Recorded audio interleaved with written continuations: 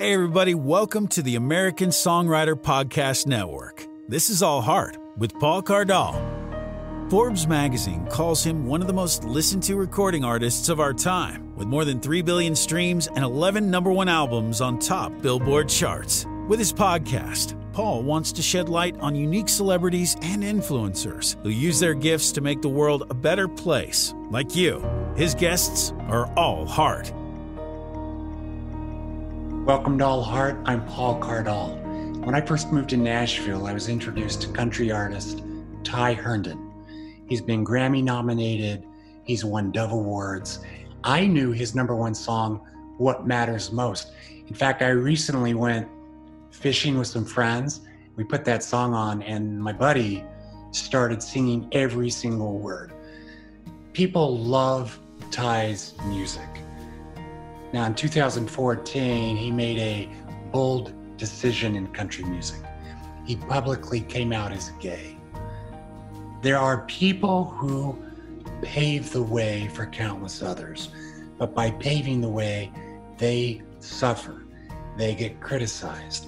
Ty is not immune to that. He's had a remarkable life, a remarkable journey, and I'm so excited to share his story with you today on All Heart with Paul Cardall. it's okay for me to say this because it's me, but I've been a mess this year. Get, getting better all the time. Ty, you're an artist. If, yeah. you, if, you, if you have a normal day, you're not doing it right. Well, none of us have had normal days. I don't know any artist that actually has a normal day. They have good days and really low days. Yes, Mr. Halbig's been at my at my butt to you know start get started writing this new record. I'm like, man, I'm I'm almost afraid to. I said, if I start opening these kind of worms, you well, might therapy. I fortunately have an engineer who I feel like is a therapist because he he's so not judgmental, but he's like, what what's going on today in your head? So Ty, I want to go back into, you know, you grew up in Alabama.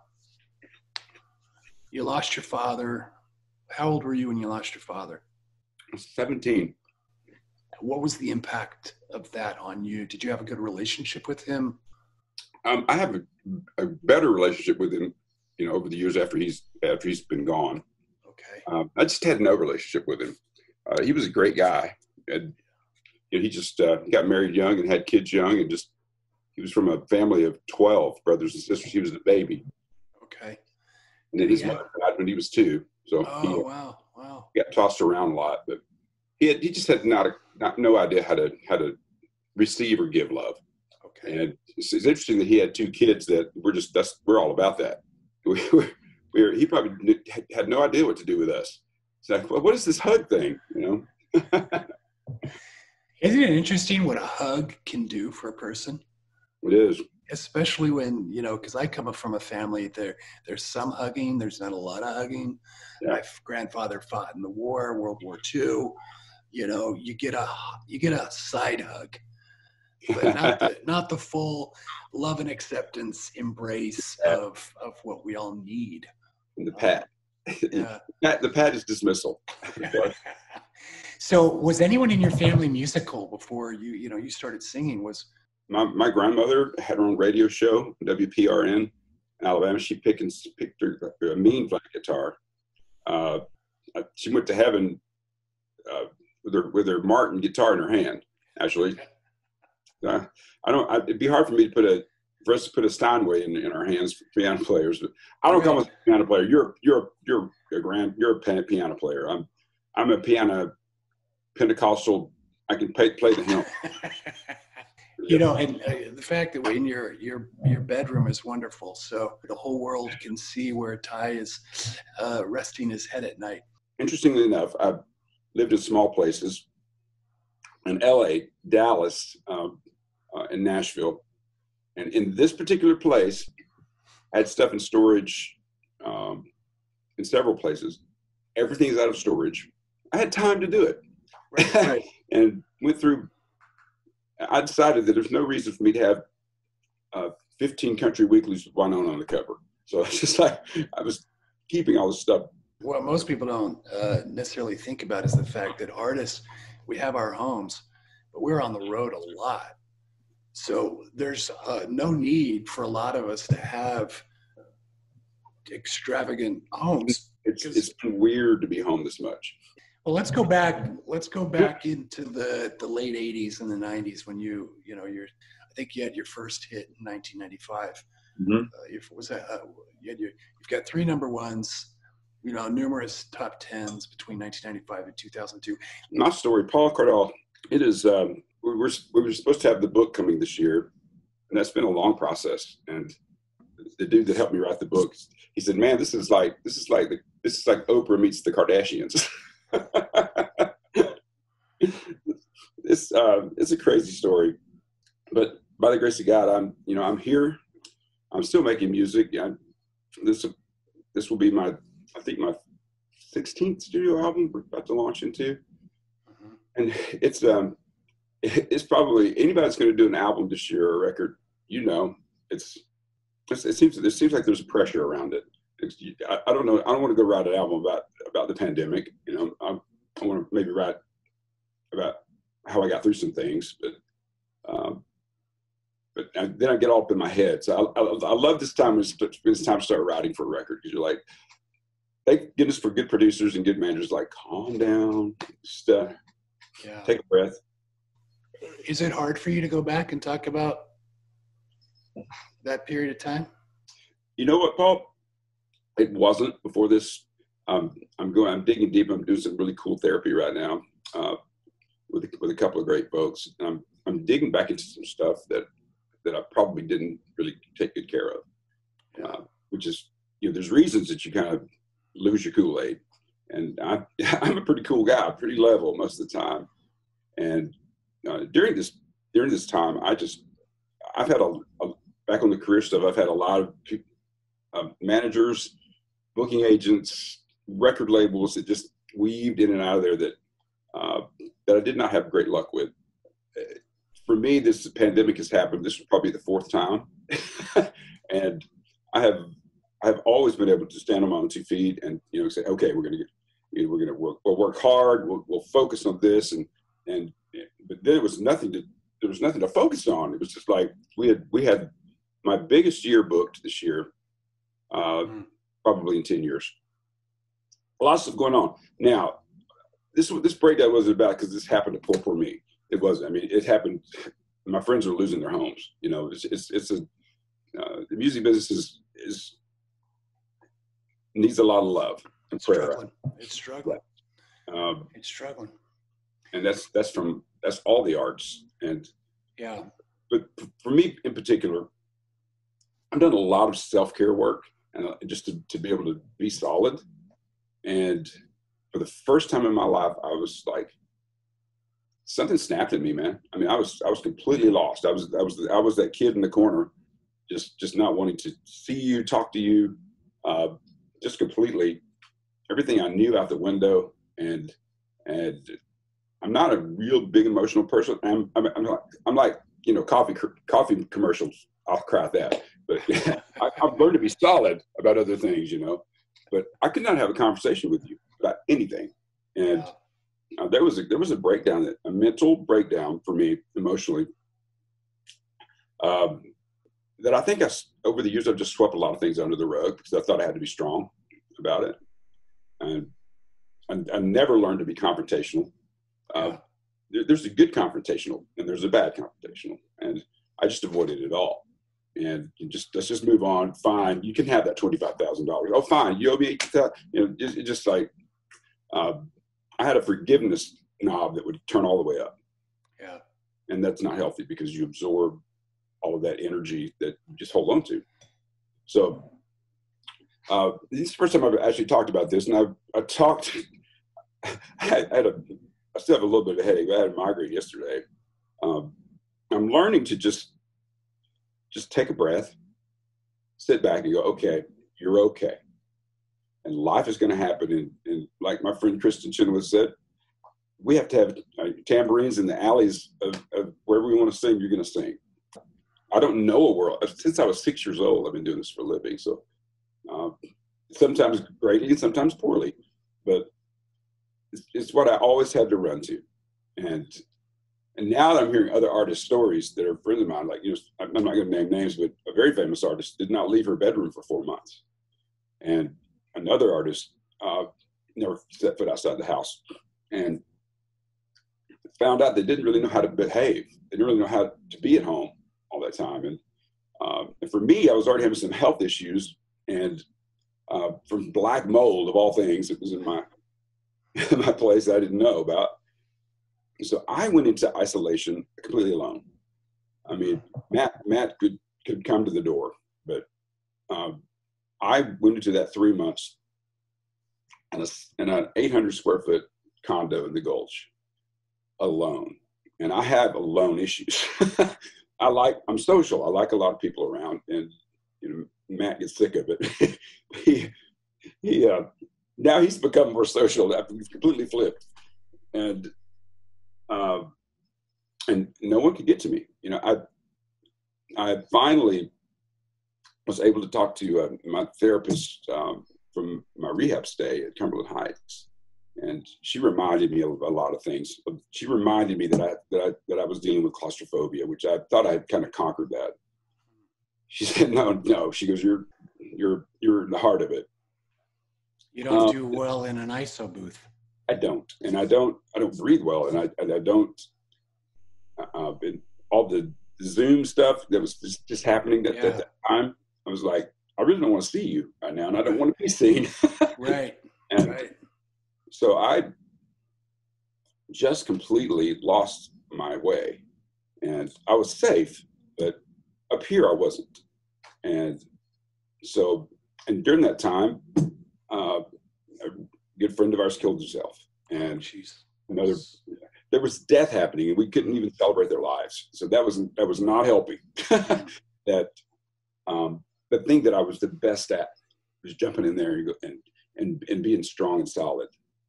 Uh, for others and for myself was gone. I mean, just out, just gone. And I thought, I thought I got a lot of great friends, but I thought if I, I could I almost wanted to turn off my phone. It was like, guys, I don't have any answers for you, but I love how I, how loved I was. Yeah. At the time. And you, is this, you know, as an artist myself, you know, I struggle. I've got health issues. I've got PTSD. I've got all these things, and I've been dealing with this stuff. Do you think a lot of this is the cat and mouse game of the music industry and our personal lives interweaving the relationships we have, and then constantly starting to, you know, we're we're we're fighting to have a voice yeah. in a sea of amazing voices. What I know now is this. I always used to say I, I go to the road to work things out. What I know now is whatever was going on in my life, I would go to the road. It was it was easy for me to run, and not face, you know, if, if Matt are having a problem, you know, uh, or I'm going to be gone for two weeks, it'll fix itself. And, you know, I'll, I'll come home, I'll be missed and, you know, just, just dissecting behavior has been very interesting and um, just trying to be well because also just it's become a pretty big joke with my friends that uh, if we're going anywhere we, that let's wait and see what's wrong with Ty this week. so I've welcomed the humor because they're not wrong. It's been it wasn't a cold, it was a tooth falling It wasn't it was an eye infection. It was a knee swollen. It, it just just every week was something. And you know what it was? And now that I've learned to just calm down, stress is not good. I've, I've, I've never been a person that's completely stressed out. Everything in your body wants to stop working. You just get, and then add depression on top of that. And my father passed away from uh, from some pretty severe depression, and I thought it skipped me because I was like, I used to look at people and go, wait, they they, they, they have a pill for that, right? I mean, and and I feel bad that I ever thought that because there was there was no pill that was going to fix this. It was it was nothing that was going to numb me out because I was already numb. And I couldn't find the I couldn't find my, my number one guy in there. And and I can now talk about this without without boozing, but I, I couldn't see God. It's like, where where where'd you go? You know, not only myself, but just what is this about? You know, and um, and that's never happened to me before ever. Even in my darkest moments, you know, there's just there's been a strong connection there. Uh, but man, I couldn't find it, and that was horrifying to me. And and it's enough to make you. I mean, I, I, didn't want to leave the earth. I'll say that right now. Because the therapist asked, did you, did you want to commit suicide? I said, no, it was never about that. Yeah. It was about, I, I don't, I don't know where to go to get answers at this point, And I don't know what the future looks like. And um, I just lost all this stuff and I don't know if it's going to come back. You felt completely unsafe, abandoned yeah. By even the, the you know, because we talk a lot about God on All Heart.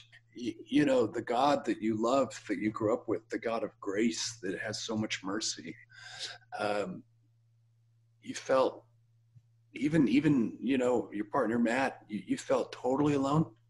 Totally yeah. alone? Oh yeah. Yeah you know I, I, had been i realized this about myself now even before this i'd been i'd been pushing him way out to sea. That's a, that's another conversation but yeah. Uh, yeah i was i was beginning that thing that happens to guys my age where you start feeling really inadequate and you you feel like, gosh, I've only got a certain amount of time to be impressive. You know, I've got to try harder. I got to work harder. And that was another thing. Sitting in that condo, I just realized I was tired. I was just like, the, the race is just in for, I, for my, Terri Clark and I were talking. She goes, she goes, yeah. you and I kind of from the '90s. We, we other than the big guys, we call them. Uh, we're still we're still staying. You know, we're still. She goes, it's a lot of work. I said, tell me about it, and then add LGBTQ on top of that.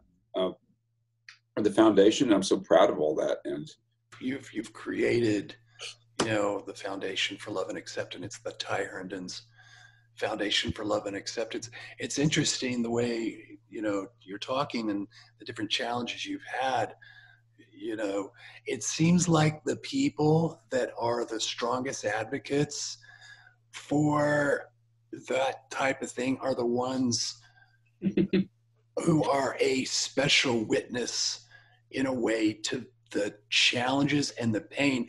Because i believe had you not experienced this pain and suffering you would not be able to understand the needs of others who are hurting and that's the irony, the thick irony of being plucked. Yeah. And I don't know that it's like God just gives that to you, but it's like you've been plucked, Ty, because he knows.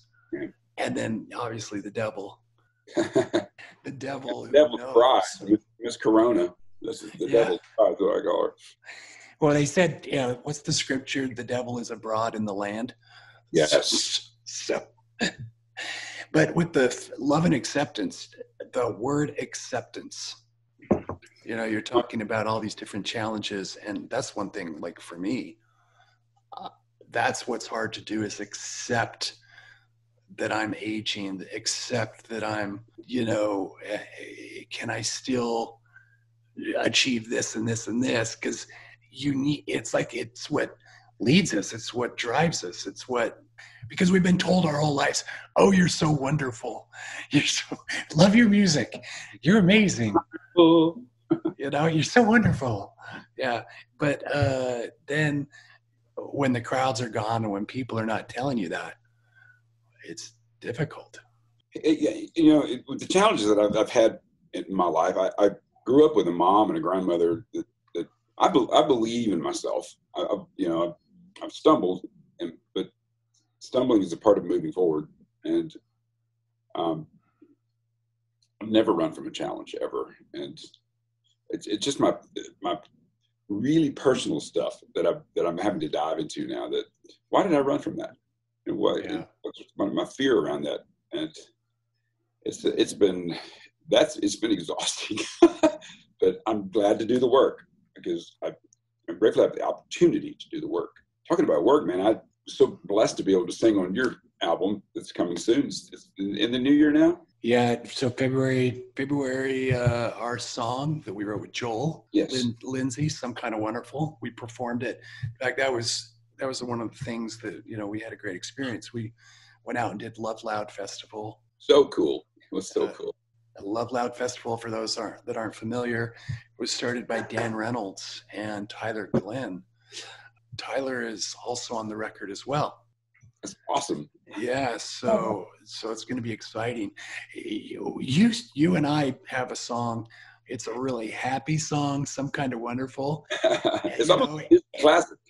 It's fun. It's fun. And then with the with the uh, Tyler Glenn, who is also openly gay, we wrote Yeah. this song called "I Know It Hurts."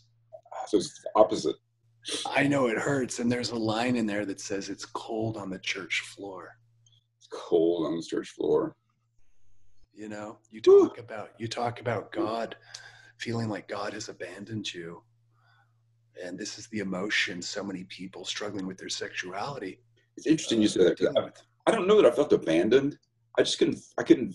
I couldn't find him. I Uh, felt a little more like he lost me. like there's so there's so much going on right now. You got you couldn't hold everybody. you went know? off the radar. yeah, I just, there was, you know, it was, it was, it was a brokenness in me. I'll be honest with you, man. I, I got, I was so angry. Yeah. All that stuff turned into anger eventually, and Mhm. I mean, I couldn't even speak. I was just so, so angry, and I guess I had a lot of stuff to be angry about. It it just needed to, like a bad zit, needed to pop. But I did. I, I, I got, I got through that, and um, I had a little. Uh, I, had, a little- I ended up in the emergency room last month. Just uh, I had to have a little surgery, and, uh, and I got the emergency room at two o'clock in the morning.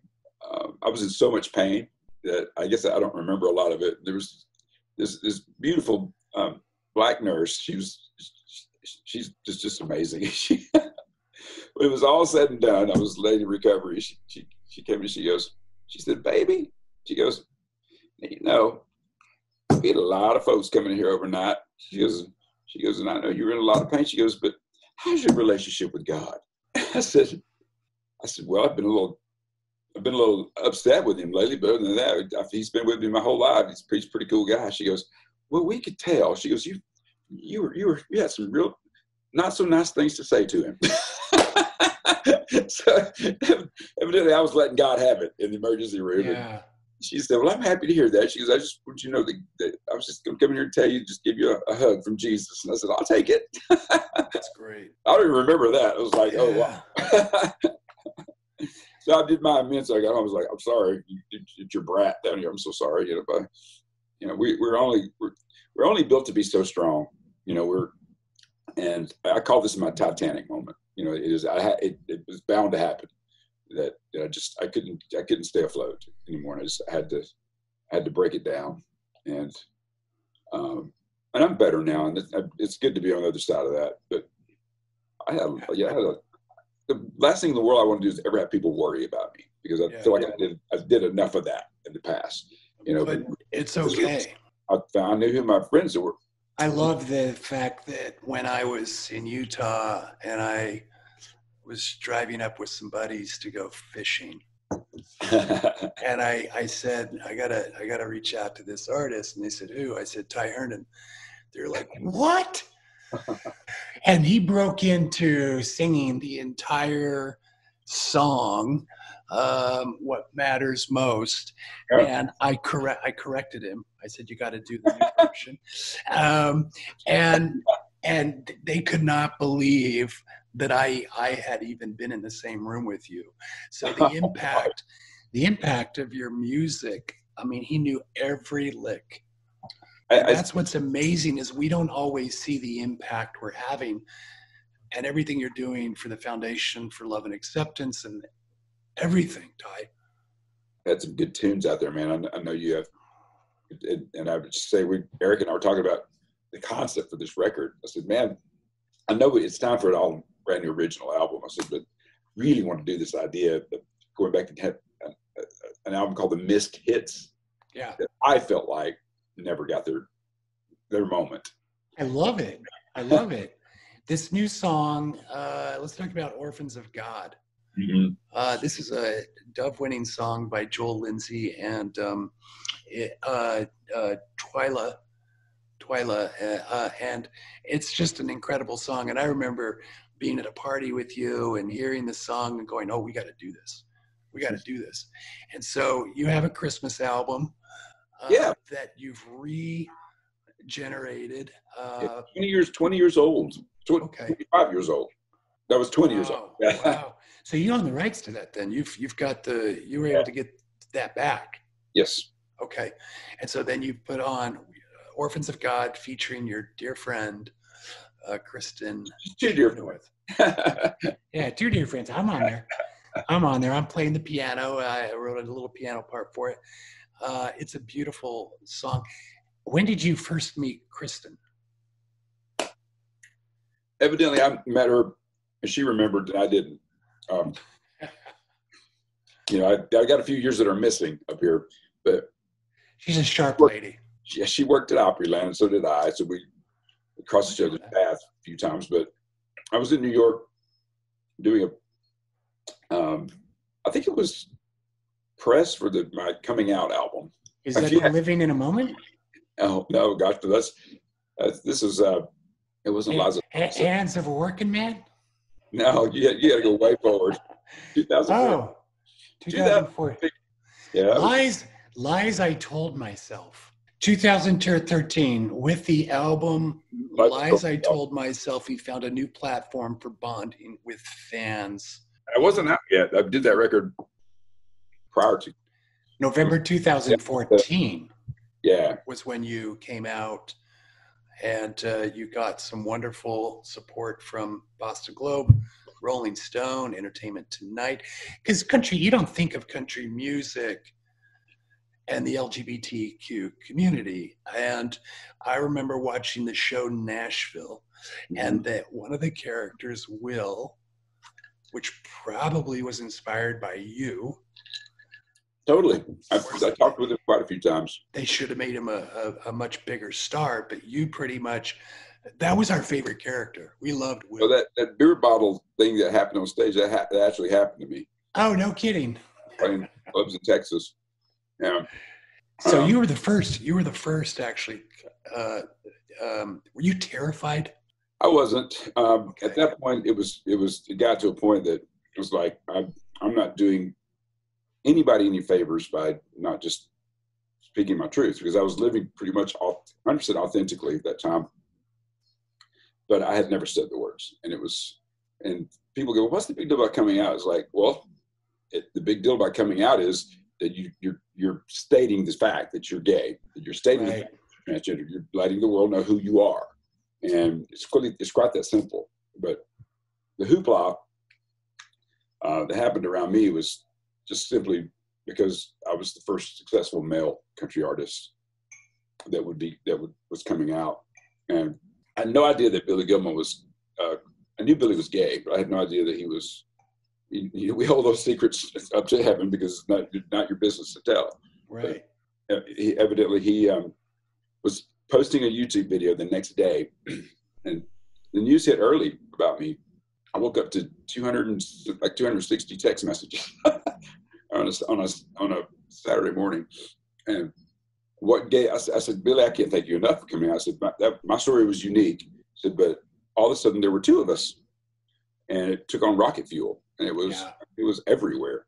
Yeah. And the funny part was they were trying to get people to guess who the two people were, and so. Everybody starts wondering, questioning, asking.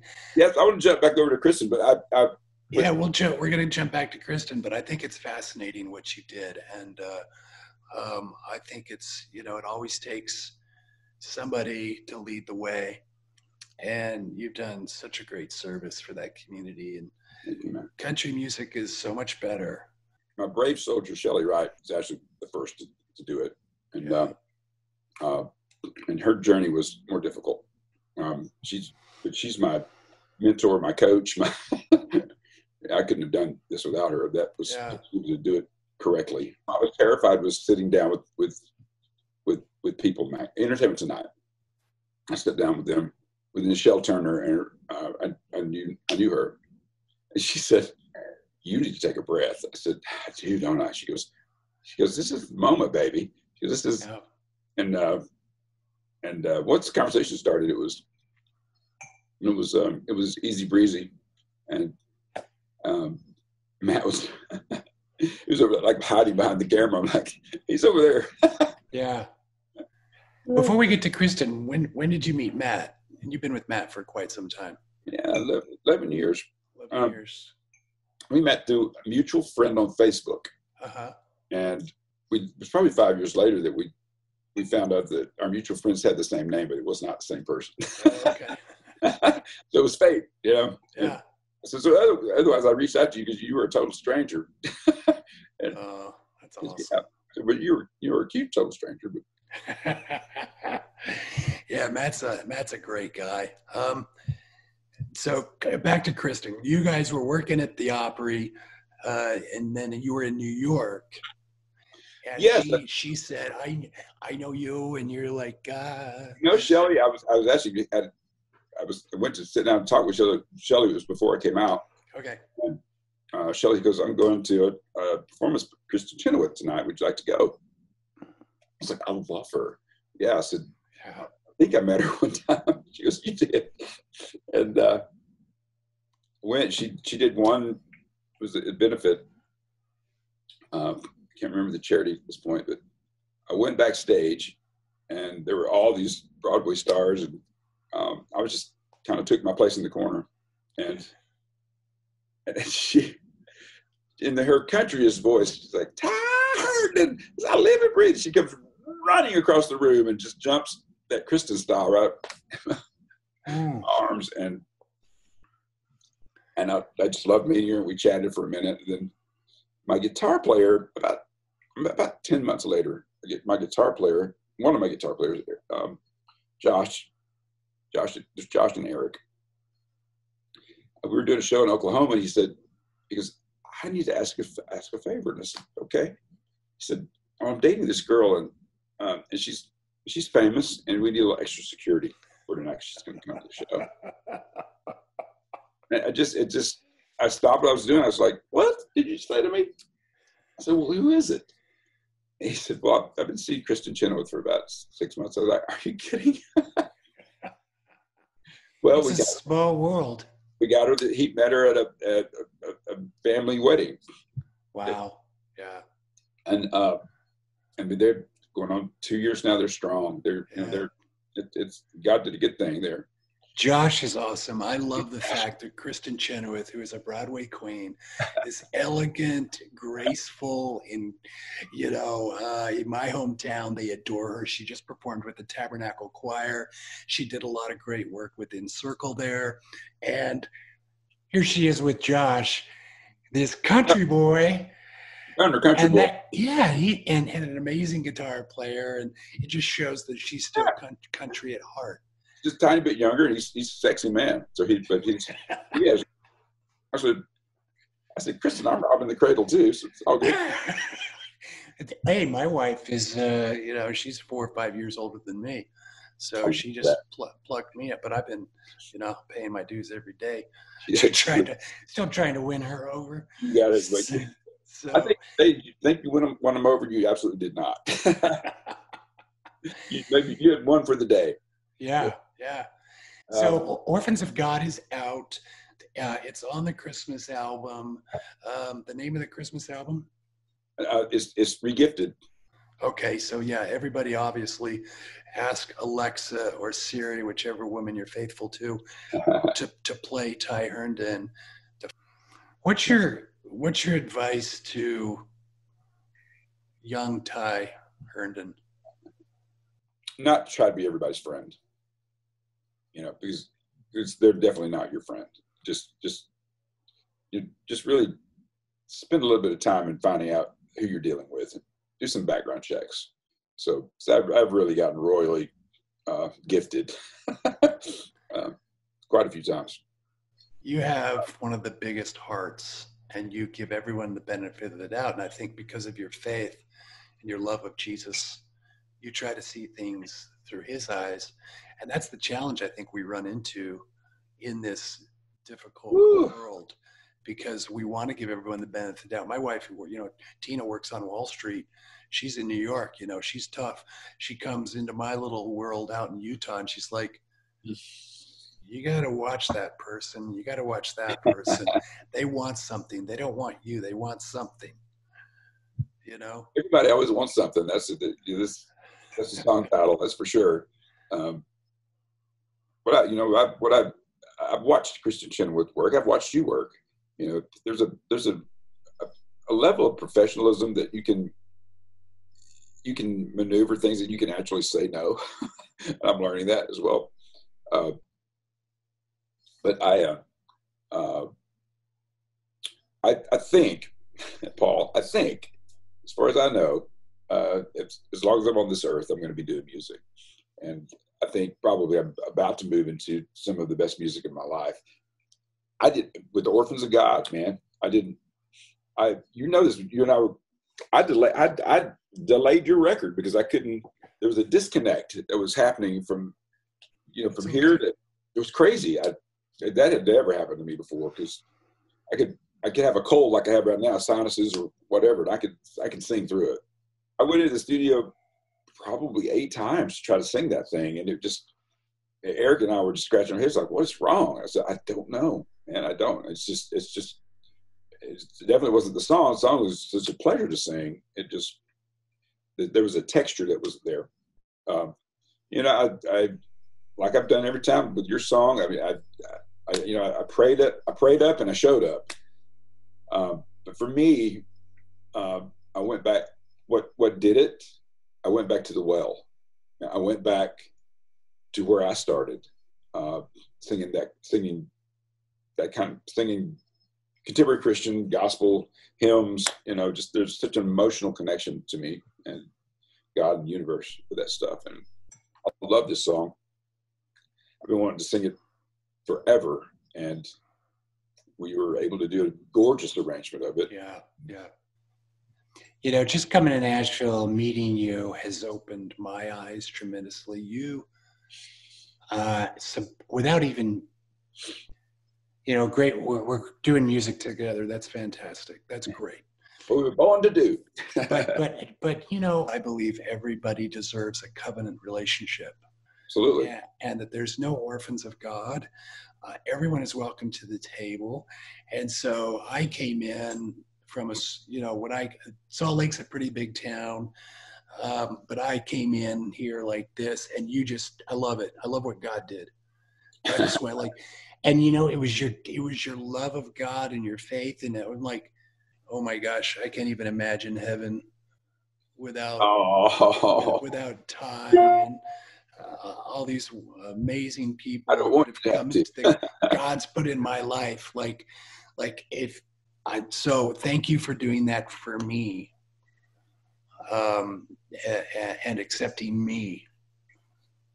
So you can't speak right now. You're gonna make me cry. Well, I love you, man. You're amazing. You have influenced so many people. You know, you plug, you keep plugging away, plugging away.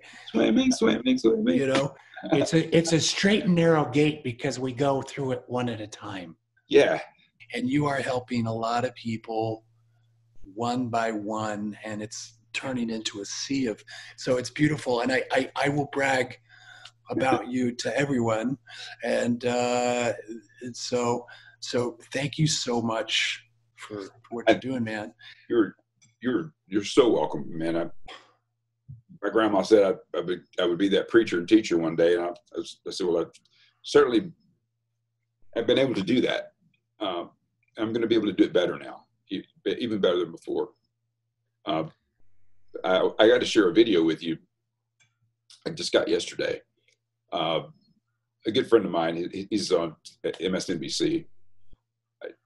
His his buddy had just downloaded the song, and I mean, man, he he struggled with his you know success, and his, he was he's a successful person on television now, and that's it hit him right in the heart, man. He he said he said I, he was bawling. He said I needed this message today. He goes, and this is not a sad cry. Because this is this is a happy cry. This message was heard so loudly in me. He said, and I was like, wow, you know, I I I, uh, I have a relationship with with Kristin like I do with you, with with Chely, right? Like I do. We talk about God, you know. And I, yeah. man, I was one day, probably a month before this pandemic thing hit, and I was, I was just, I was just listening to some some some old tunes that I grew up with.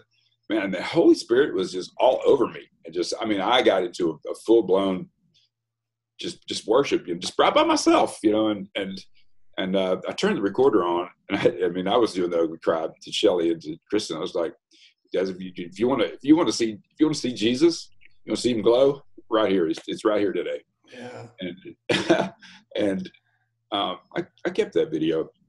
I, I, said one day I'll post that, and I don't know that time maybe now. Who knows? But that moment, I realize now.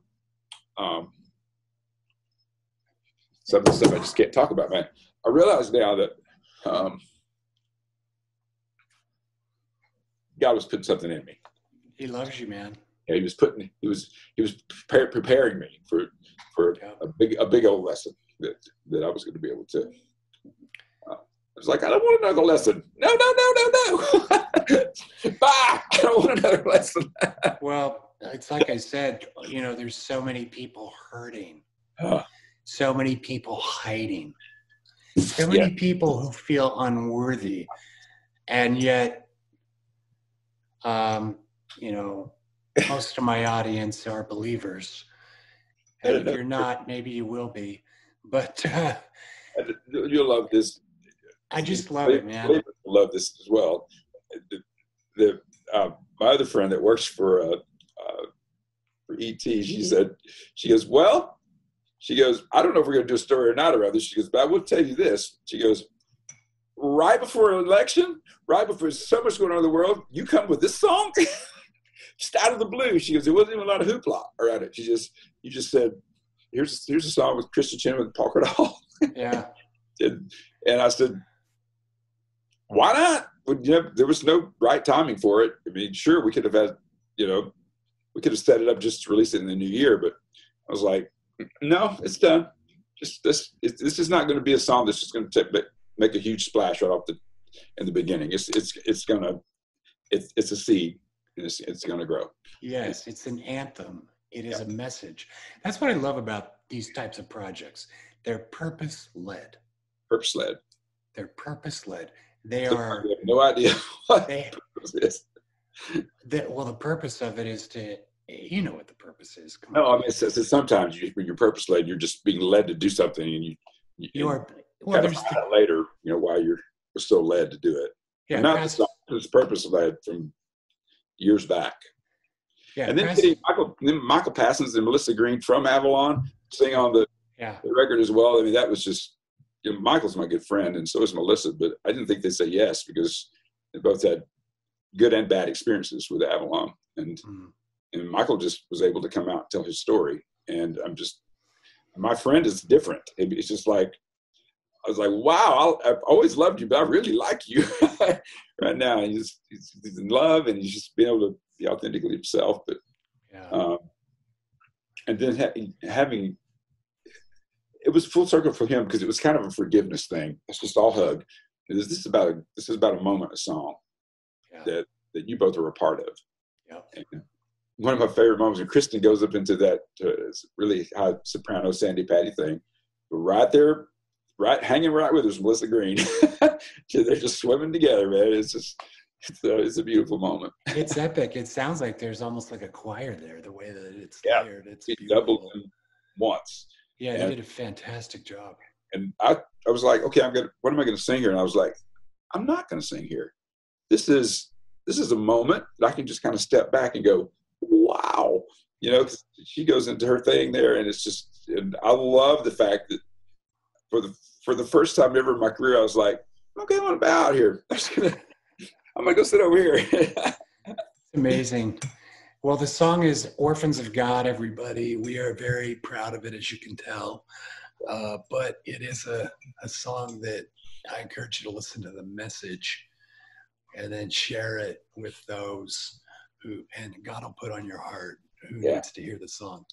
I think it's everybody. All right, my brother. Thank you for having me on. All right, man. Have a great day. See you. Love you, man. Thank you. Thank you, everybody, for listening to All Heart. Again, I'm Paul Cardall. Please subscribe to this podcast. Subscribe. And if you learned something and you were inspired today and you know somebody who will benefit, you know, because you're listening to it and you're going, you know, so and so would really benefit from listening to this, tell them about the podcast, share it with them. And then I have a free song I want to give you. This is a song that I have been requ- it's been requested of me for years. It's not on Apple Music, it's not on Spotify. You can't get it anywhere, but I made it available exclusively to those who subscribe to my newsletter on paulcardall.com. Go to my website, get the newsletter. Why? I give you great information before other people on social media receive it, and I like to give away more stuff. Go to paulcardall.com. Click on the podcast link. You'll see other episodes that we've had. Our guests have been amazing. Season two is going to be even more amazing. The guests coming on, incredible. So thank you everybody for listening. I'm Paul Cardall. Never forget how valuable you are. You are worthy. You are loved. You are welcome to my table because you are all heart.